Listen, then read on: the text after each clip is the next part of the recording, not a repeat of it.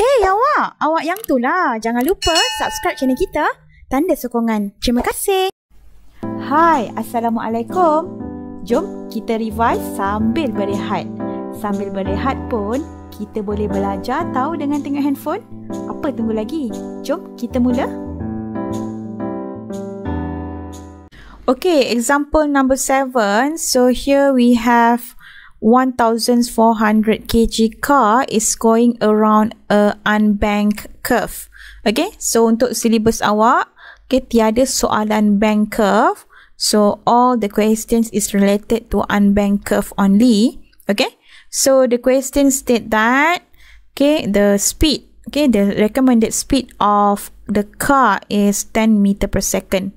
Okay, so maknanya uh, dia punya recommended speed, dia punya speed limit sign tu mungkin 10 meter per second. Okay, so the radius of curvature of the path is 20 meter and the coefficient of static friction between the road and the rubber tires is given mu equal to 0.6. Okay, so now here we want to calculate what is the frictional force on the car. Okay, so number one. So kalau you hafal formula ni, ada yang kata dia hafal kan? V is equal to mu RG. So kalau you hafal tanpa you faham, okay, uh, free body diagram dia. So how to calculate the frictional force? So equation for frictional force is equal to, okay, mu Sn. Alright, so normal force. So how to find normal force? So look at the free body diagram here. So let's say this is the unbanked curve. So this is the car. Alright, and the free body diagram. So we have normal, weight, and also the frictional force. Okay? Alright. So now, based on this diagram, we can find the normal force from total Fy equal to 0. So N plus negative W equal to 0. So N is equal to mg. Okay? So now you can find the static frictional force mu s and kita tadi adalah mg right. So substitute all the values. Okay. So kita akan kira okay static frictional force is equal to 8240.4 newton.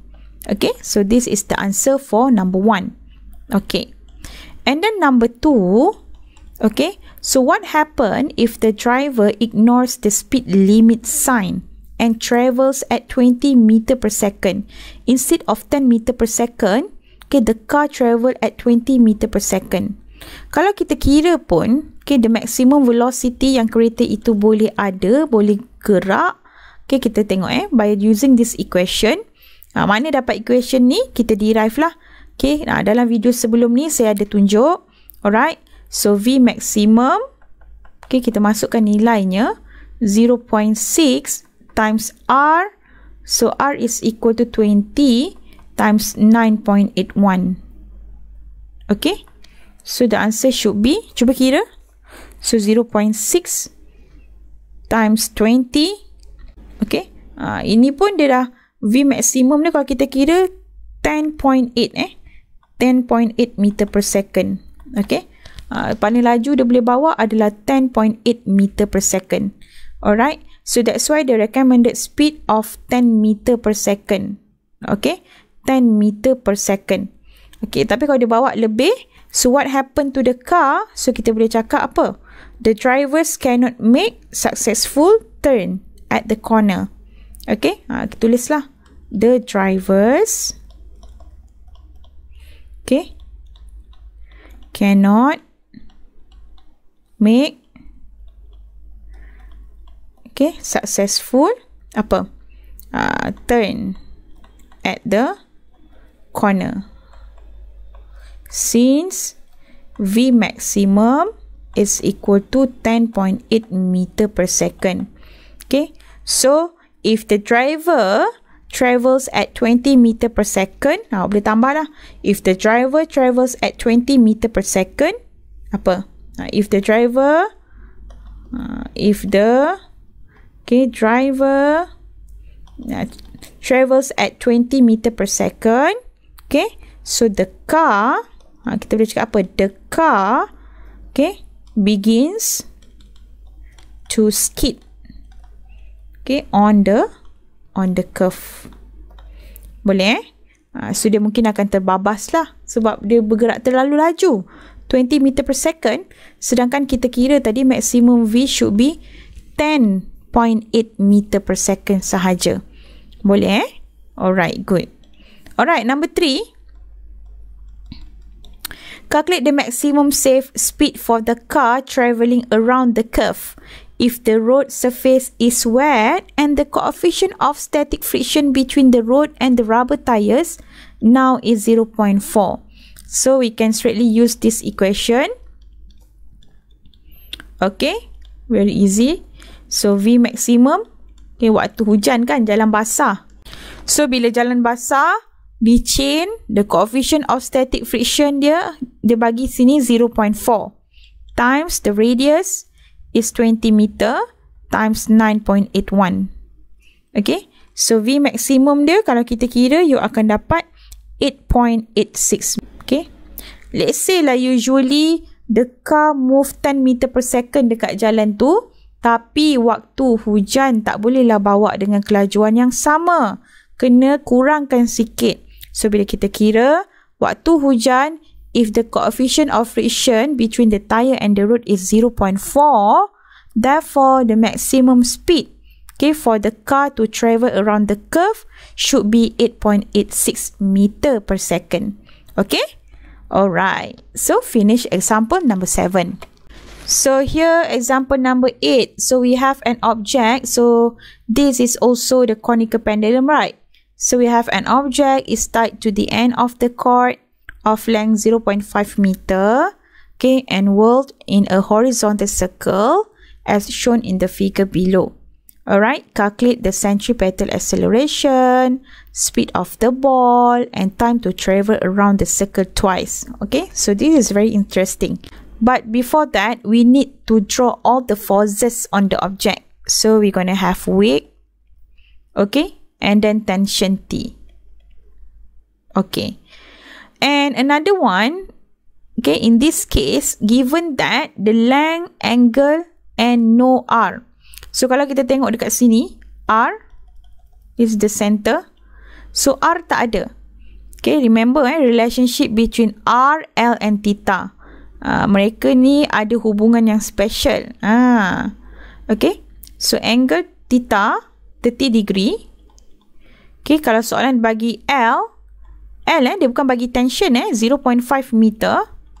Length partner dia dengan length, iaitu radius. So, radius boleh kira tak? Boleh. Boleh lah. Uh, boleh. Okay. So, we can use sin 30 degree is equal to R kita tak tahu kan. Kita kalau kita nak kira R over L lah. Ha, macam tu. Okay. So, we can find R is equal to L sin theta 0.5 sin 30 degree. Okay, ingat eh, relationship antara R dengan L ni, uh, kita boleh combinekan mereka macam tu. Boleh eh? Okay, so you akan dapat situ adalah 0.23 meter. Okay? Okay, so now we want to find the centripetal acceleration. So based on this diagram, you can see that centripetal acceleration should be in this direction. Okay, towards to the center. Okay, but we need to resolve first T into Ty and Tx. Okay, so from the free body diagram, you can see that the direction of Tx is the same direction as AC. So now angle, if here is 30 degree, so here should be 30 degree as well. Alright. Okay. So we can write the equation of total Fxc. So total Fc, ah, Fc in x component since the direction of AC is to the right. So MAC, so we want to find this one, AC. Okay, so we can write Tx, the only force that is same direction with AC is Tx equal to MAC. Saya tulis satu-satu eh. So, awak pun kenalah tulis satu-satu. Okay. So, Tx, kita dah resolve tadi. Tx is equal to T sin 30 degree. T sin 30 degree. Ty is equal to T cos 30 degree. Okay, sebab TY ni duduk sebelah angle ni. Okay. So, siapa yang duduk sebelah angle? Cos. Siapa yang jauh daripada angle? Sin. Okay. So, dia akan jadi T sin 30 degree equal to MAC. Alright. So, look at here. We cannot solve for AC. Okay. Since we don't have tension here. So, I will let this as equation number 1. Boleh eh?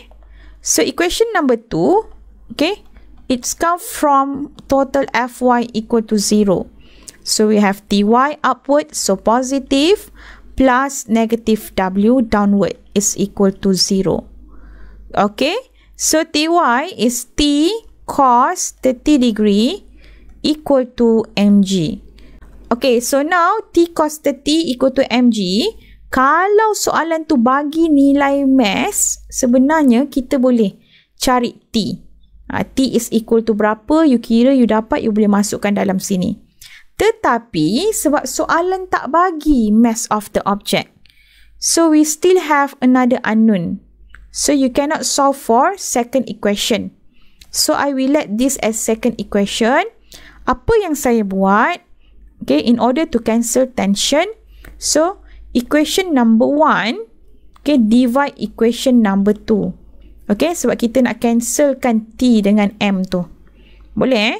So, saya akan tulis T sin 30 degree equal to MAC. Okay, divide equation number 2 T cos 30 degree. So, over MG. So, the trick dekat situ, M dia tak bagi. So, we can cancel. And remember, in mathematics, sin theta over cos theta is equal to tangent.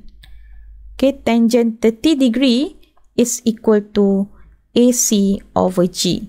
Therefore, AC is equal to, ha, kita nak cari AC ni, G tangent 30 degree.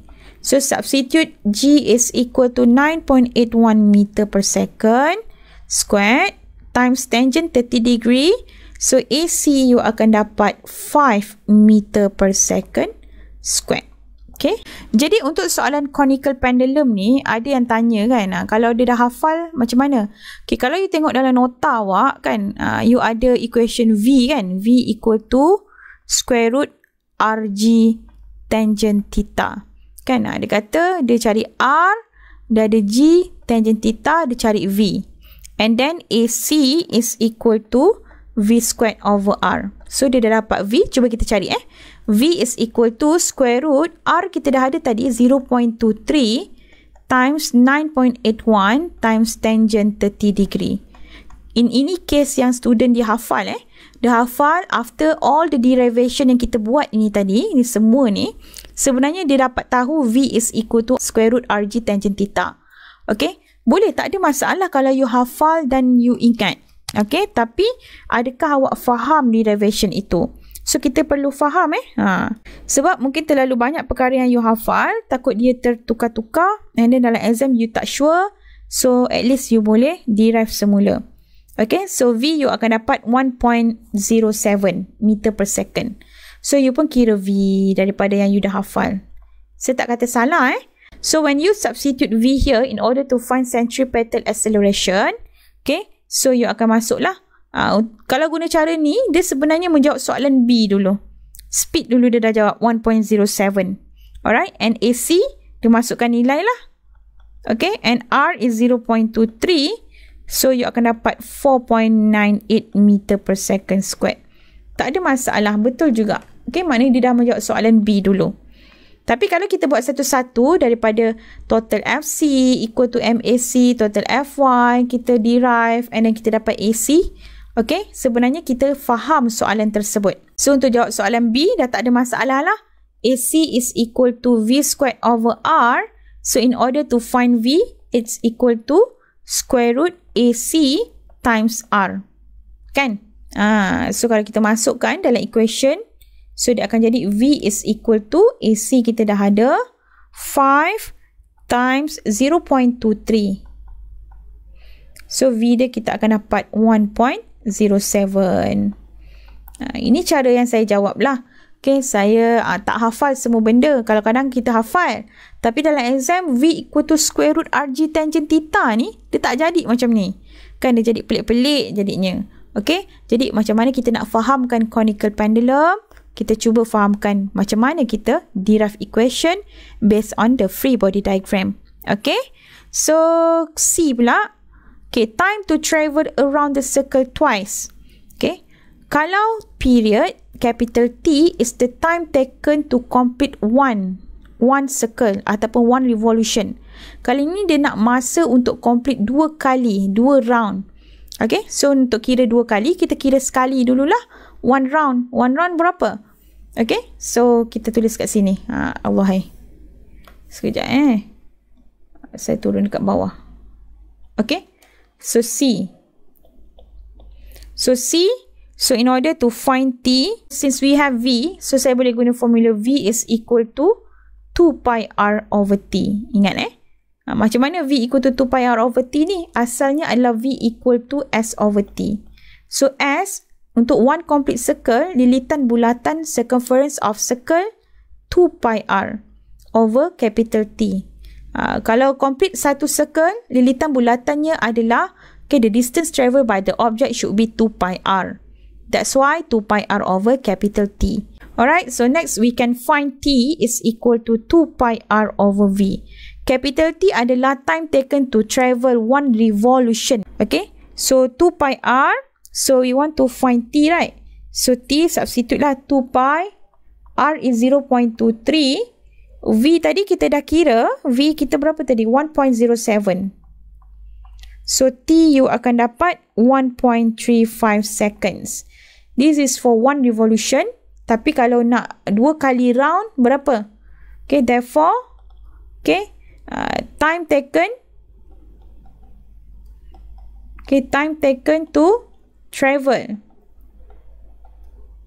okay, around the circle twice, okay, is equal to 2t, okay, which is equal to, berapa tu?